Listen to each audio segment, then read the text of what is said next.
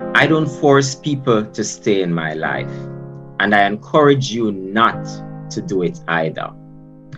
If someone or something is not meant for you, God or the universe will make situations messy until you get the message. Alignment is important, and sometimes you have to let things and people go in order to one, get better than what you originally wanted, or two, the universe will bring it or them right back to you in better form. Trust the process.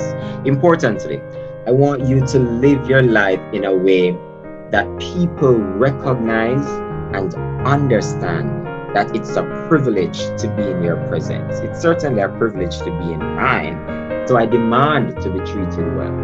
And you should, yeah, you should be treated the same too.